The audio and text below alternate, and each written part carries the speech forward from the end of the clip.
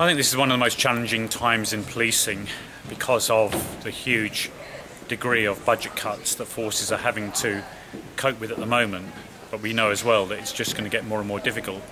At the same time, we've seen this constant stream of negative stories about policing, and we need to find a way of turning that round and trying to get on the front foot and certainly building the morale of our staff.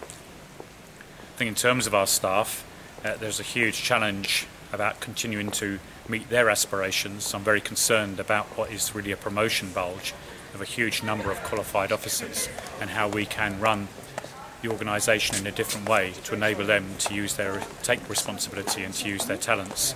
And of course, what doesn't change um, is the challenge from the criminal community, the way that so much crime is moving onto the internet, the difficult world of counter-terrorism uh, and organised crime. Uh, so at the same time, there are all these really strong operational challenges. So there's plenty for us to do um, and plenty of new challenges for those leaders coming up through the organisation.